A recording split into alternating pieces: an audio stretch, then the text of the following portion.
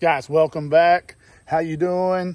I'm at the house doing a little yard work today. Oh, it's killing me, man. I want to be out on water fishing, but it's about 7,000 degrees too. About time to get on out there and go night fishing try these lights out. I'll tell you what I wanted to talk about today. Uh, back when we did our 10,000 subscriber giveaway, we we talked about XHD mounts. Uh, I have been using the mount for about eight months now, nine months. And I wanted to bring to you a very, very cool mount that I have up front. I actually have the same um, style mount in the back. Um, and I will show you these on video. But the one up front is made for big, large graphs. You can get it in a, a myriad of, of combinations. It's just awesome. And so let's take a look at it. You know, just a little something extra. A lot of people ask me, so I always try to tell everybody, um, you know, what I have on my boat and things like that. People ask me a lot. And I'm going to show you some cool ways that I actually use mine. And uh, it's pretty nifty. So let's go. All right, so let's take a look at this. It actually is three pieces. You have these side brackets on both sides. And what you do is you put a bolt through this top bracket. Now, it, it, it allows you, you can actually mount a double mount on top of here.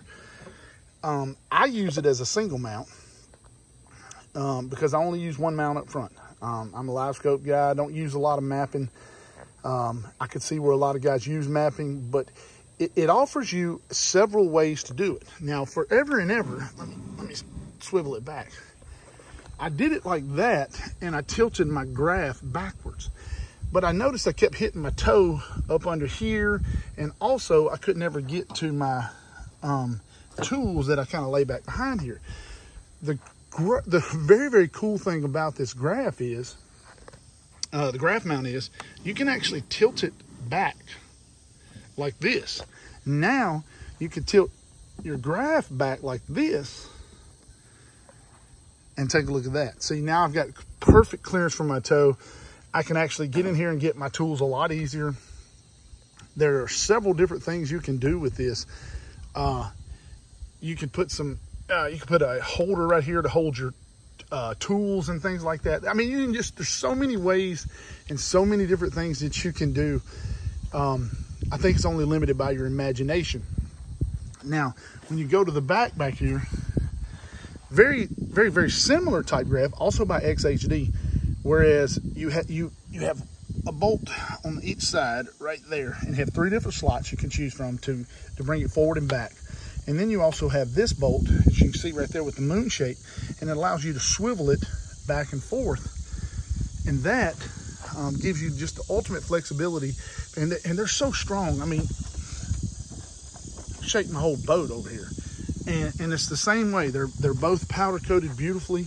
I just thought y'all might want to like take a look at that and see.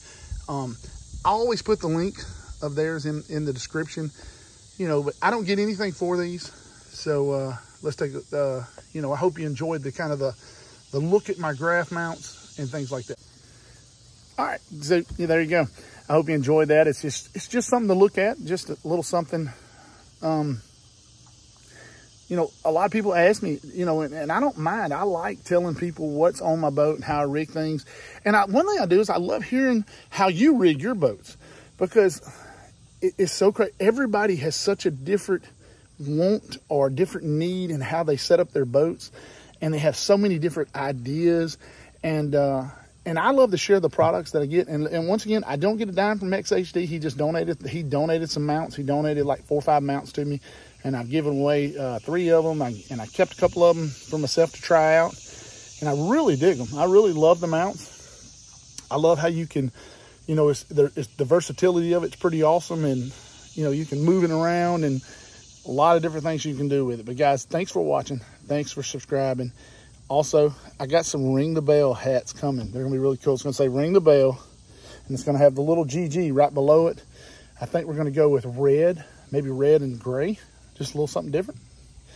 Um, when they are available, there was a guy that told me he wanted a couple of them. I don't know who he is. I'm gonna have to check.